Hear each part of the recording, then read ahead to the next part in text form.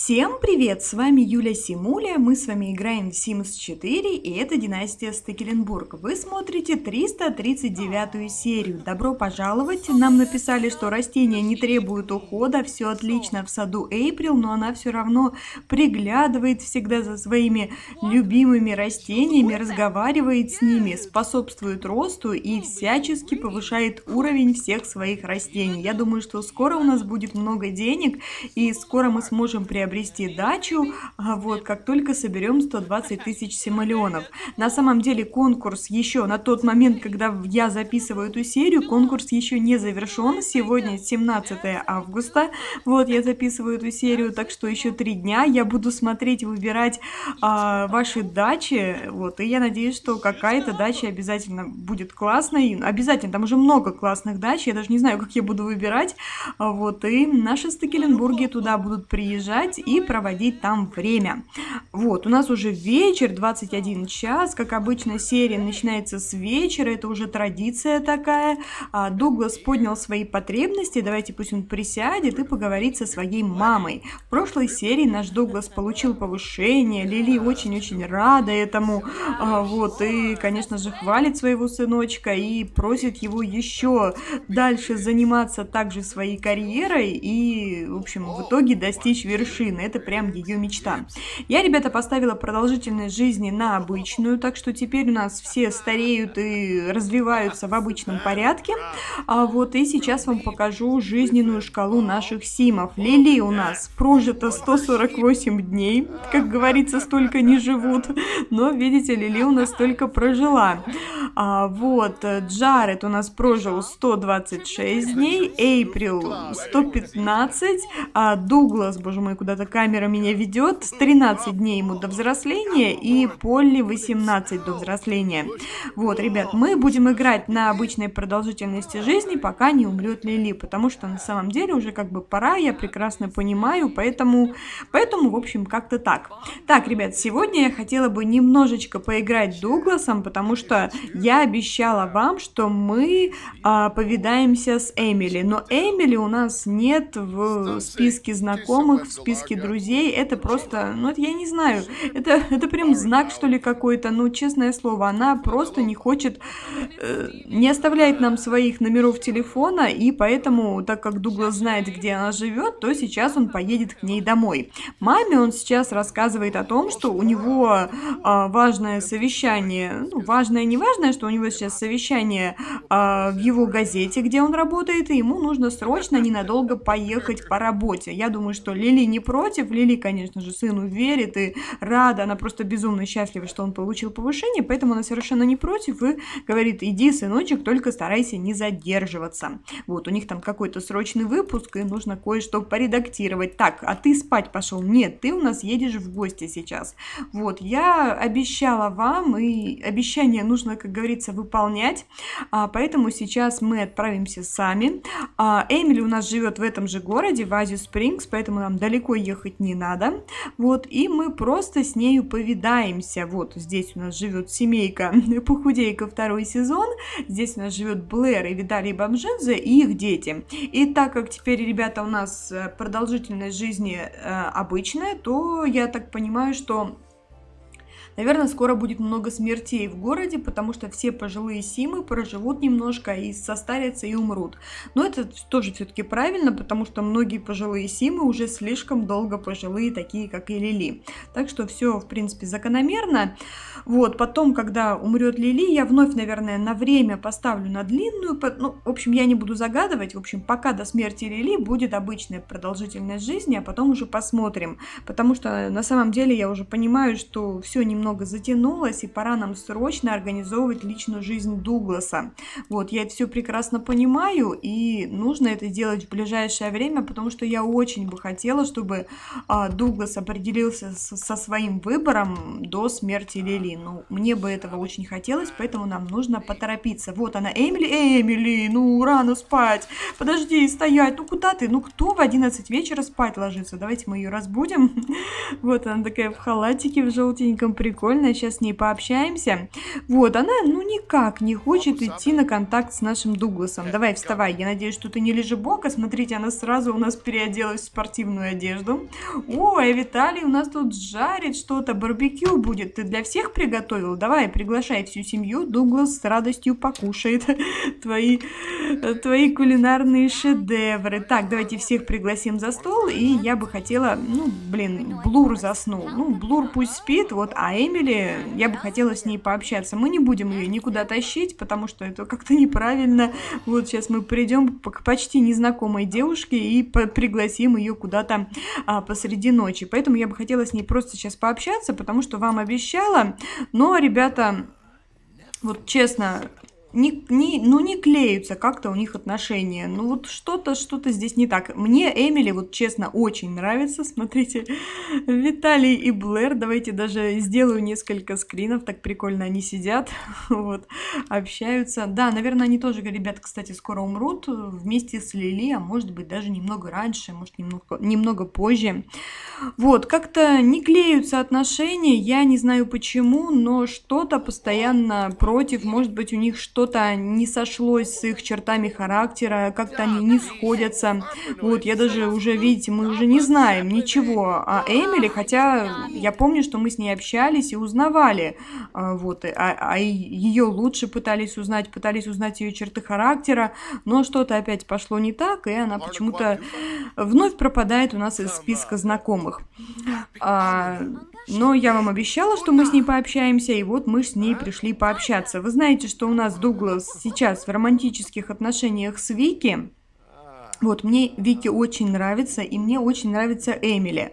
Вот, э, глядя на Эмили, вот внешне, внешне могу вам сказать, наверное, мне даже больше нравится Эмили, потому что она вот, что-то в ней есть такое необычное, привлекательное, вот ее носик, мне он очень нравится, он, он такой прикольной формы, не знаю, мне она очень нравится, но что-то идет не так, и, ребята, наверное, наш Дуглас все-таки а, свой выбор остановит на Вики, а с Эмили будет в более дружеских отношениях, отношениях. Давайте спросим, кстати, о карьере. Может быть, она все-таки устроилась куда-то, потому что как-то Симы не спешат у нас вообще э, работой обзаводиться. Безработная, да, все так же не работает, все такая молодая, красивая и такая же безработная. Давайте ее рассмешим.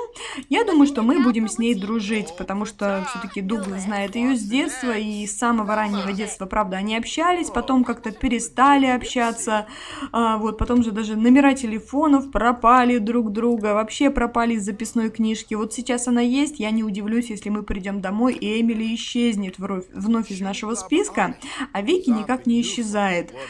Э, так что вот я знаю, что сейчас будут многие против, но это не единственная причина, по которой я все-таки, наверное, остановлю свой выбор на Вике. Вот другая причина – это цвет волос. Как-то у нас пошло так, что все Стекеленбурги, это я не специально делала, но как-то так получилось, что все Стекеленбурги по линии Маркуши у нас идут темноволосые, а все Стекеленбурги по линии Глории почему-то идут светловолосые. Ну, единственное, это Лорочка исключение, она была рыжая. Все остальные у нас блондины. И как-то вот не хочется мне прям эту тенденцию ломать, мне это вот даже как-то нравится, и поэтому Вики это тоже вот причина, почему вот э, она тоже темноволосая, и, в принципе, тогда линия Маркуши дальше будет темноволосая. Но, конечно же, это не главная причина, а главное это то, что вот, ну, как-то не клеится у них отношения. Девушка интересная, красивая, мне она очень нравится, но что-то идет не так, и больше все-таки они как друзья, мне кажется, с Дугласом. Вот, давайте присядем, что ли, поближе. Ну, я, наверное, ее еще раз разбужу, я надеюсь, что она не сильно обидится, тем более она не лежебока, и пообщается немножко с вами, с нами. Вот, девушка красивая, обязательно мы найдем ей парня, обязательно она выйдет замуж, и, конечно же, у нее будут дети. Но я думаю, что она не судьба Дугласа, и все-таки наш Дуглас остановит, остановит свой выбор на Вики. Уже пора делать выбор. Он с Вики в очень хороших отношениях, у них уже романтика, Вики в него влюблена, а, блин, Эмили еще и заболела. Вот, так что, ребят, это не моя личная неприязнь к Эмили, тем более неприязни никакой такой нет. Она мне очень нравится, мне ее внешность очень нравится, ее носик. Она намного, вот на мой взгляд, она намного вот интереснее. Не могу сказать красивее, но вот интереснее, чем Вики. Но все равно В общем, вы поняли. Я вам объяснила Надеюсь, доступно. Почему? Знаю, что многие фанаты Эмили, вот кому Эмили нравится, будут, будут против. Но так всегда было, потому что э, не бывает такого, чтобы всем нравится одна девушка. Естественно, половину зрителей всегда за одного, другая половина за другого. Давайте, наверное, с ней еще какое-нибудь дружеское вот действие такое сделаем. Мне бы хотелось, чтобы они вместе занялись, вот опять минусы пошли. Ну чего вы? Чего не поладили? Чем тут у вас в вашем домике можно заняться? Попрыгайте, что ли, вместе, э, поплавайте тогда когда вместе в бассейне, плавать нет вместе действия. Все-таки Эмили не хочет с нами общаться, она вновь заснула. Ну, прямо жалко девушку, девушку будить. Давайте, наверное, вот попрощаемся с ней и будем уже отправляться домой. Вот, а с Вики нам нужно будет пообщаться. Я думаю, что мы пригласим ее куда-нибудь в ресторан и будем, ну, не предложение делать, но хотя бы начнем с ней встречаться. И нужно как-то Лили сообщить о том, что у нас есть девушка. Вот, и э, Дуглас теперь должен подготовить маму. Вот. А с Эмили мы будем дружить. Да, я очень не хочу, чтобы она пропадала у нас из дружеских отношений. Хочется, чтобы она оставалась и приходила к нам на вечеринки. Очень не хочется, чтобы она исчезла, и тогда мы не могли бы к ней дозвониться. Вот, пусть она будет, и пусть она с нами общается.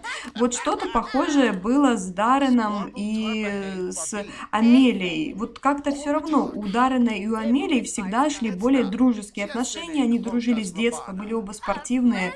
И, ну, не клеилась у них никак романтика. Ну, ну вот, и поэтому Даррен выбрал у нас Лили. Вот, в данном случае я тоже не вижу никакой романтики между Эмили и Дугласом, хотя Эмили мне очень нравится, но все-таки она больше как подруга ему подойдет, и опять пошли минусы. Ладненько, все, не буду я тебя будить уже четвертый раз, это будет очень жестоко с моей стороны, пусть спит. Вот, а наш Дуглас, наверное, уже провел свое заседание, какое-то там собрание, которое у них было, и отправится домой. Вот, так что я меняю контроль, например, на April и отправимся домой. Опять же, прошу вас, пожалуйста, не писать э, вот эти вот длин, длиннючие негативные комментарии э, по поводу выбора, потому что ну, потому что ничего хорошего от этого не произойдет, и я только расстроюсь, у меня пропадет настроение.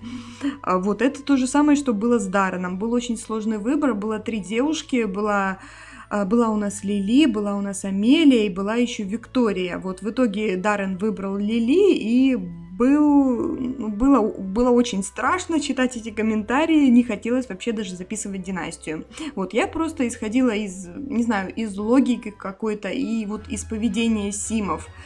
Э, смотрела на поведение Дугласа, на поведение девушек. Вот. Насчет других каких-то остальных вариантов, то есть у нас тут, в принципе, из остальных вариантов это только Стейси.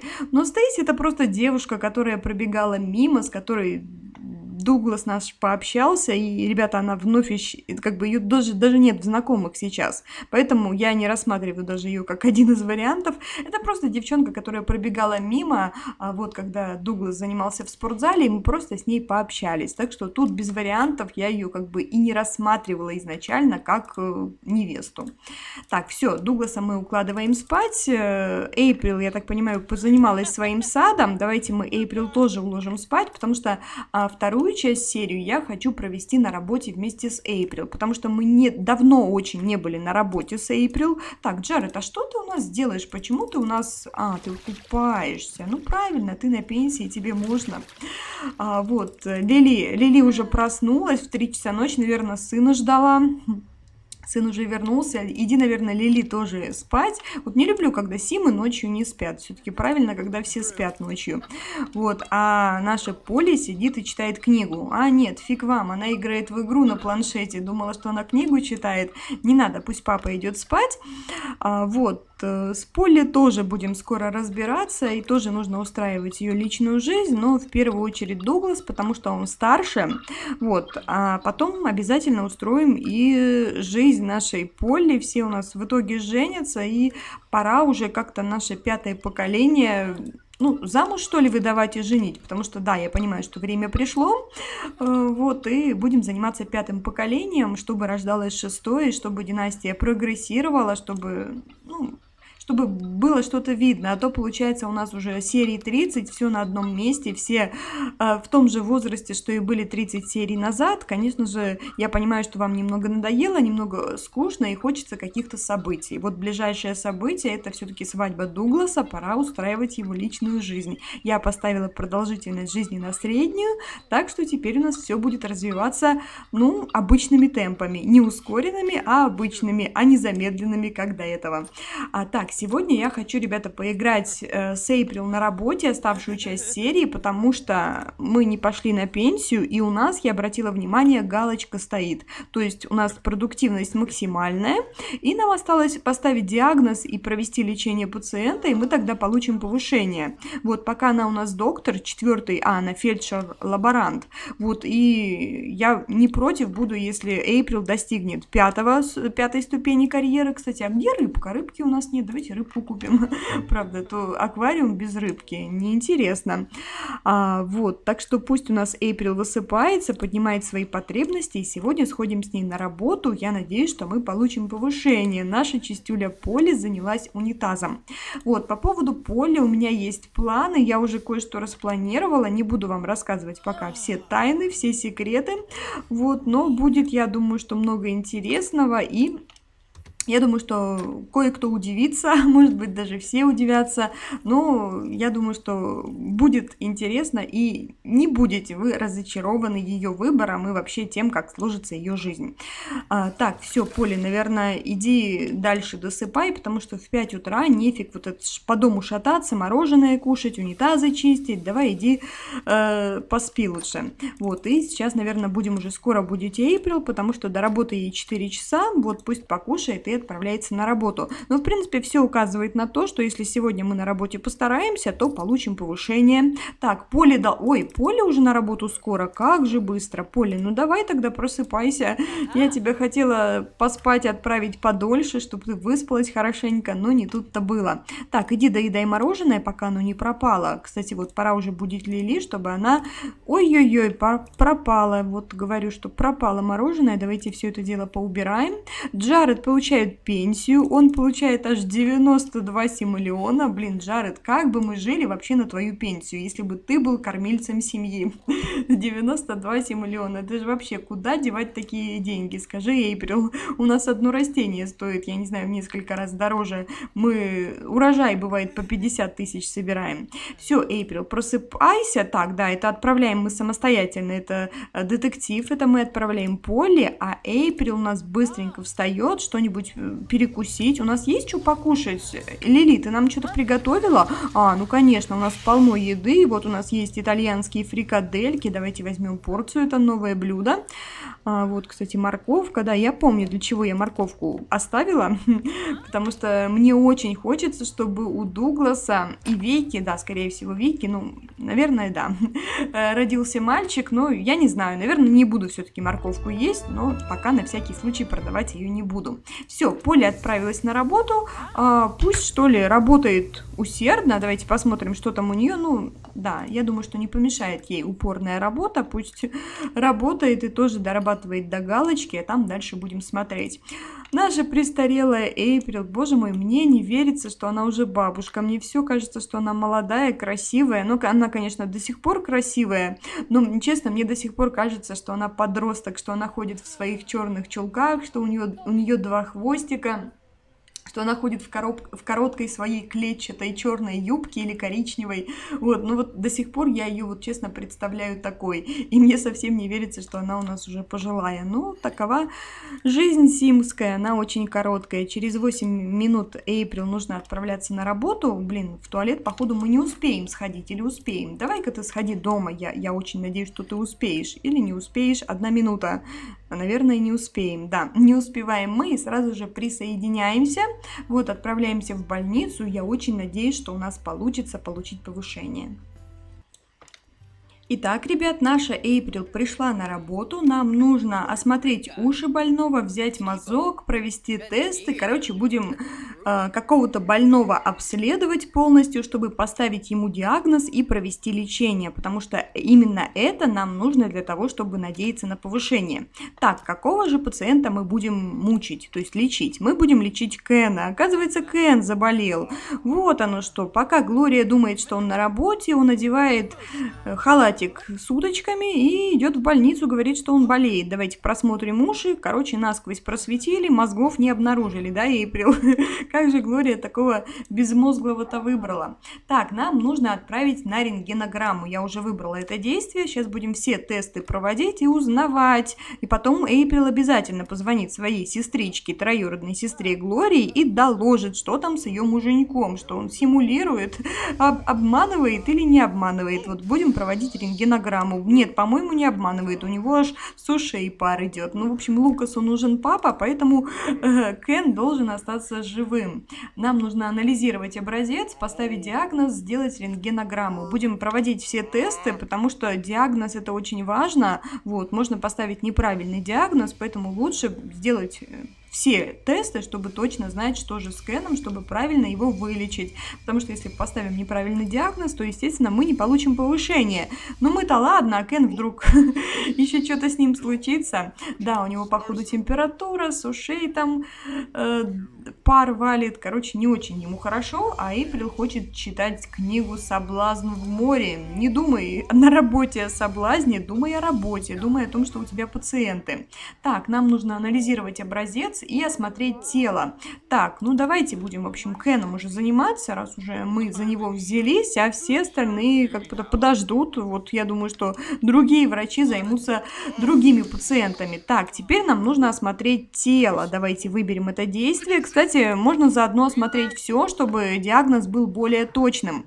Рентгенограмма персонажа по имени Кен готова, но Эйприл не может разобраться в результатах. Так, провести тест на беговой дорожке. Давайте проведем тест тогда на беговой дорожке, и может быть это как-то нам поможет лучше разобраться. Интересно, почему она не может разобраться в результатах? Может быть, э, как бы уровень карьеры врача еще не позволяет, опыта мало.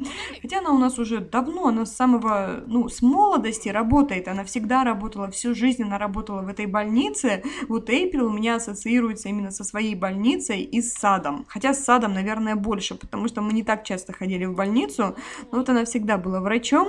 Вот, начинала еще с санитарки, с медсестры, теперь дослужилась уже до врача и все лечит и лечит всех, э, всех симов. Вот благо... Ой, что ты пришла, клоунша, ты не мешай, мы тут тест Кену проводим, да, на беговой дорожке, нам нужно еще будет мазок его э, проанализировать. Работаем мы до 17 в принципе, если мы не будем успевать, то мы можем остаться немножко дольше поработать. У нас смущение, не внушающие доверие результаты исследования, плохие результаты обследования. Ну, просто Эйприл, я все-таки думаю, что еще недостаточно опытна. Вот, несмотря на ее возраст и несмотря на то, что она долго работала, мы не часто получали повышение, не так часто, как хотелось бы, и поэтому она вот не совсем первоклассный врач.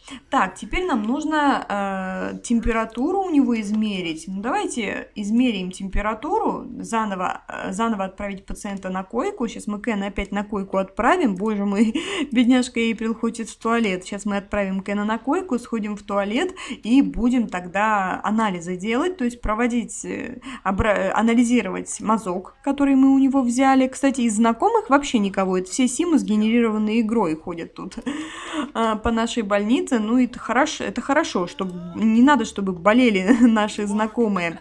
Так, что нам нужно посмотреть? Э, температуру. Вот, померить температуру, давайте ее измеряем и пойдем анализировать образец. А, Кен проходит тест на беговой дорожке, но Эйприл не может разобраться в результатах. Ну, что это такое? Не может разобраться, это плохо. Так, температуру мы померили, давайте мы Эйприл отправим в туалет, потому что, не дай бог, будет конфуз. Так, что у нас тут? Очередь уже выстроилась, да, уже две дамочки ждут когда их обслужат. Это лысая дамочка, с которой Дастин у нас сидел в ресторане. Вот, и еще одна пациентка. Все хотят, чтобы Эйприл ими занялась, но Эйприл сегодня не до, не до других пациентов. Шанс более-менее точного диагноза. Эйприл Стекеленбург после обследования имеет достаточно данных, чтобы поставить диагноз пациенту по имени Хэн Хокинс, э, Хокинс на койке для медосмотра. Дополнительные тесты могут повысить точность диагноза.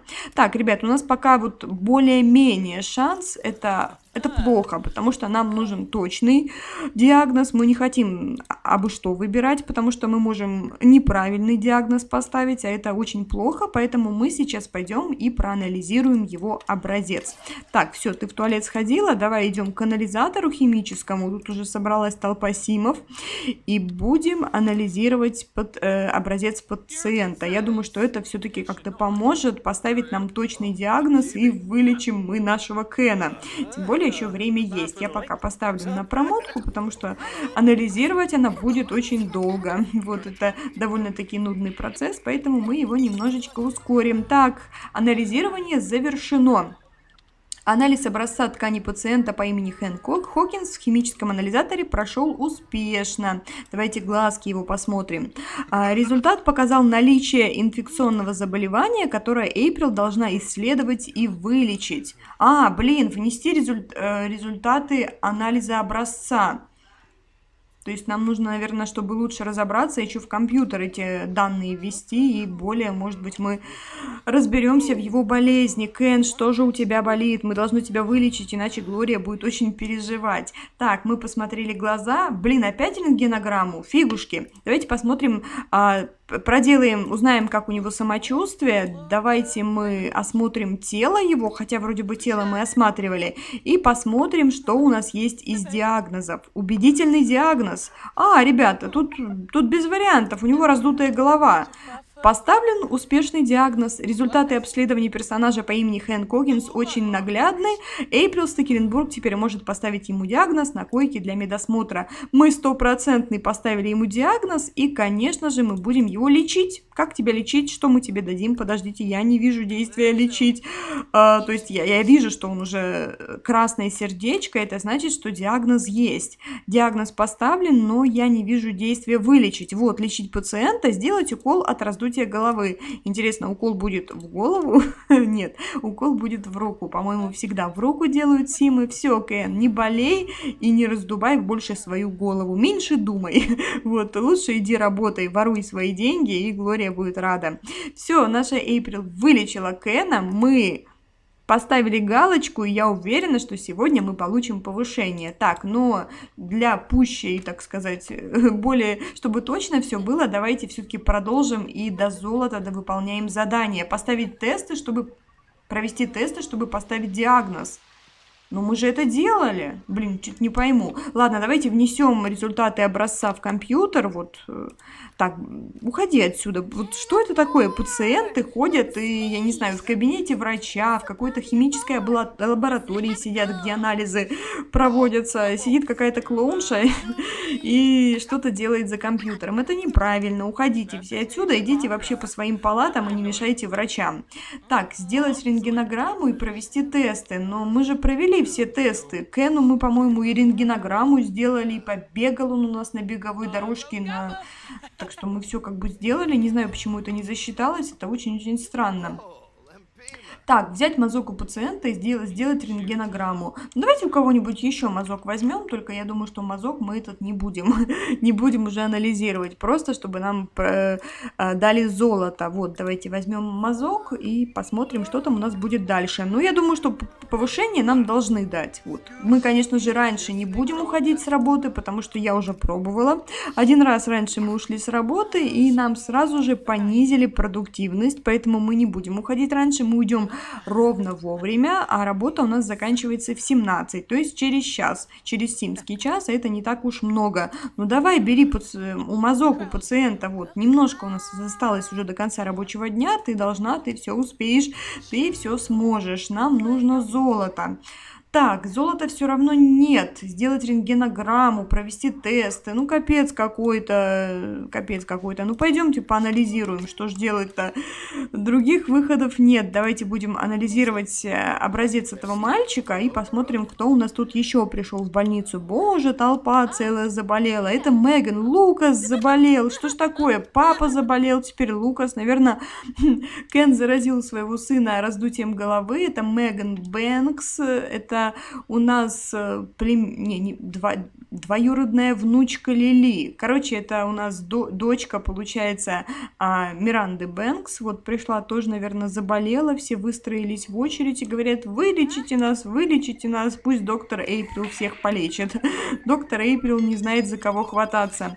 Так, Эйприл, давай, 23 минуты, я верю в тебя. Мне очень хочется, чтобы было золото. Все, ребят, отлично, у нас золото, и поэтому можно выйти вот пациентам и спросить, Лукас, что же с тобой такое? Вот спросим, как у него дела, давайте его позовем и спросим, что же такое, а, что Глория за ним не уследила, что мальчик заболел, потому что Эйприл любит его, он же все-таки тоже каким-то родственником ей приходится. Боже мой, кем приходится он ей? Ну, в смысле, я понимаю, что племянником, ну каким? Наверное, троюродным племянником. Вот, но Глорию она любит, они всегда были вместе с, рожде... с рождения, да, жили в одном доме, поэтому Лукаса тоже как бы член семьи. Так, ребят, наконец-то мы получили повышение. Эйприл сегодня отлично поработала, похоже, в будущем жители будут болеть реже, а ей наверняка сулит повышение. Она теперь младшая медсестра. Блин, я думала, что она врачом стала, она младшая медсестра. Зарплата увеличилась, мы получили премию, медицинский стул без отдыха и лести, хирургические столы на работе теперь можно использовать для лечения самых серьезных заболеваний, то есть нам теперь операционный стол доступен, до этого мы не могли оперировать, теперь я так понимаю, что можем. Вы теперь можете мерить температуру любви. Офигеть! Мы теперь можем мерить температуру любви. Я думаю, что Джароду мы обязательно ее измерим. Все, ребят, я буду на этом заканчивать серию. Вот, у нас стоит средняя, средняя продолжительность жизни, обычная, так что теперь нам нужно срочно устраивать Дугласу личную жизнь, потому что Лили скоро умрет. И я бы хотела, чтобы, ну, как-то она застала свадьбу. Очень мне этого хочется. Не знаю, успеем или нет, но я буду стараться. Все, ребят, всем спасибо за внимание. Пожалуйста, не бомбите в комментариях по поводу выбора Дугласа. Он еще не сделан на 100%, но я думаю, что это будет Вики. Вот по тем причинам, по которым, по которым я вам сказала. Вот, цвет волос, э, потому что темненькие у нас как-то по линии Маркуши в основном идут.